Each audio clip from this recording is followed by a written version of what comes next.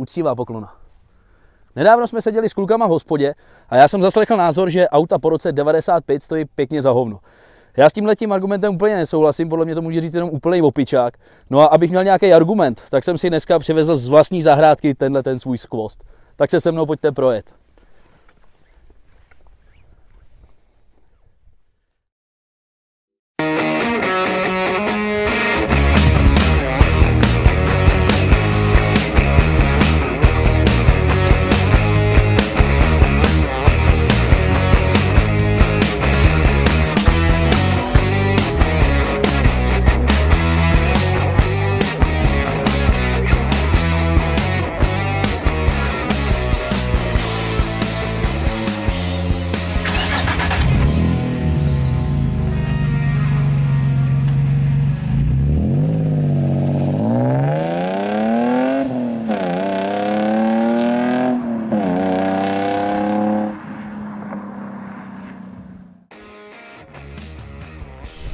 Vás, kdo Zetko neznají, tak se jedná o klasický japonský kupé, je to nástupce legendárních sportovních zetek, sahá to vlastně až k Datsunům, takže opravdu ty kořeny jsou hluboko usazený.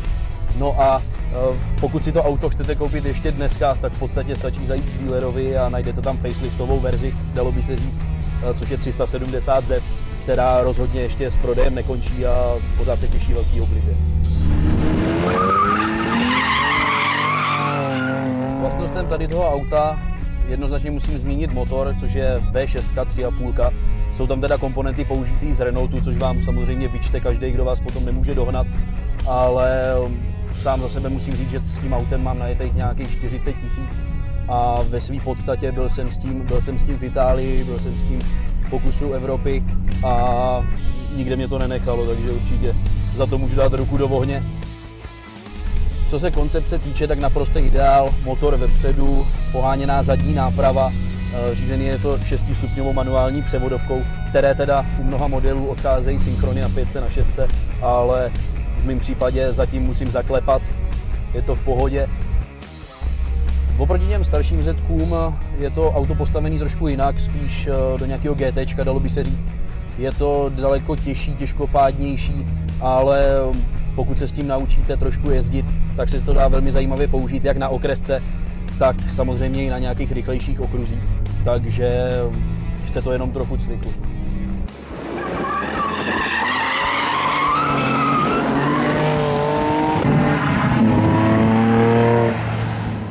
Jinak, když si všimnete pohledu na exteriér, tak eh, vzadu mám vyvedený naprosto extrémní roury.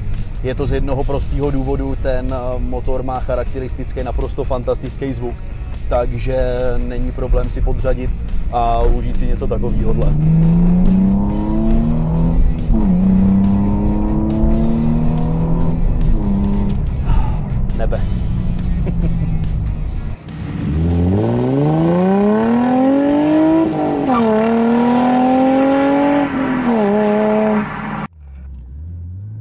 Tak přátelé, tady máme 2016 od BMW a je to, myslím si, úplně v pohodě to auto.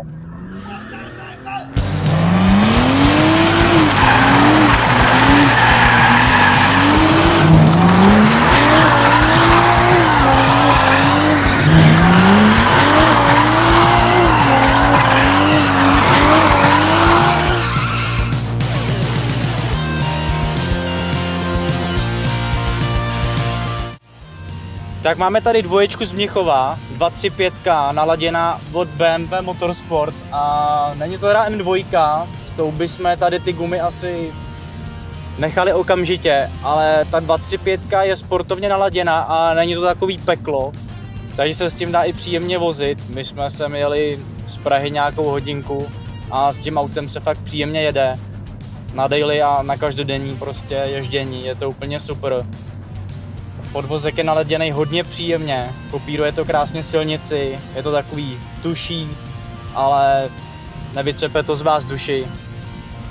Co se týče řízení, tak eh, cítíte pěkně odezu od kol, stačí ten volant držet jen takhle prostě konečkama prstů a krásně to s váma komunikuje. Tohoto auto je postavený přesně tak, aby odkazovalo na ty starý, dobrý, klasický bavoráky.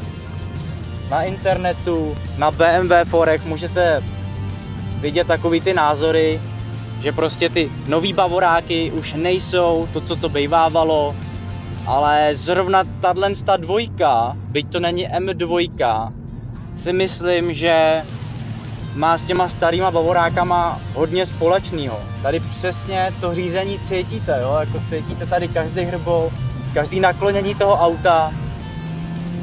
Jsou tady libový sportsaj sedačky, takže v nich cítíte přesně pohyby toho auta. To auto je nádherně vyvážený. To řízení přesně s váma komunikuje, dělá to, co chcete.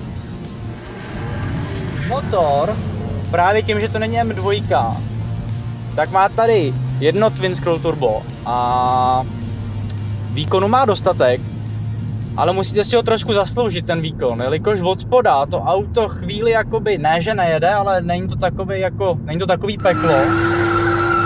Tak do nějakých 3000 to pohoda, ale musíte ho prostě vytočit na ty 3000, aby se to urvalo.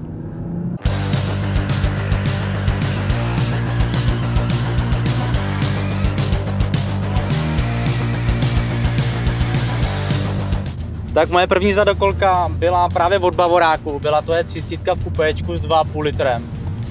A když jsem si potom sedl do té dvojky tady, tak na mě dechla taková nostalgie. Tady přesně je ta stará dobrá mechanika cítit. Byť tohle auto je o dost modernější, samozřejmě technologie už jsou úplně někde jinde. Tak tady přesně jakoby cítíte, co se s tím autem děje. A nejvíc mě tady dostává převodovka, já když sedím dneska v těch nových autech ostatních, tak to řazení je takový gumový, jak kdybyste jeli na počítači, na nějakým prostě starým volantu. Ale tady ty rychlosti tam přesně zapadají a cítíte, jak do sebe zapadají kolečka v té převodovce. Jak jsem řekl, s tím autem se jde hodně příjemně po normální silnici. Prostě necháte to ševely 2,5 tisíce, 4 tisíce, jedete úplně v pohodě když si chcete trošku hodit zadečkem, tak si tam stačí podřadit. Buď to rozhodit trošku hmotností, trochu se s tím autem zakejvat, ono se to urve potom.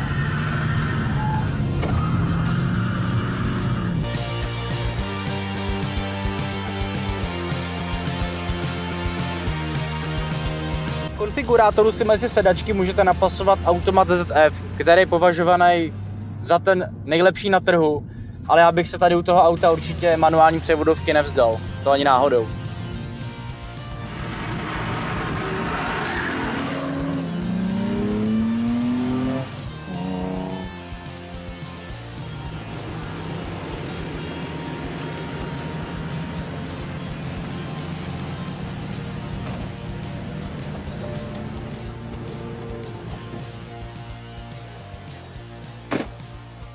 Tak co?